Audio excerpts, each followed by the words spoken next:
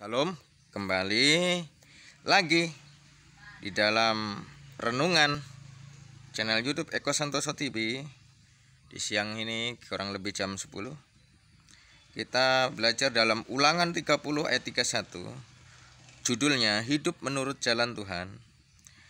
Saya bacakan ulangan 30 ayat 16 ulangan 30 ayat 16 karena pada hari ini aku memerintahkan kepadamu untuk mengasihi Tuhan Allahmu, koma, dengan hidup menurut jalan yang ditunjukkannya dan berpegang pada perintah, ketetapan dan peraturannya supaya engkau hidup dan bertambah banyak. Nah, ini bertambah banyak dan diberkati Tuhan dan diberkati Tuhan Allahmu di negeri ke mana engkau masuk untuk mendudukinya.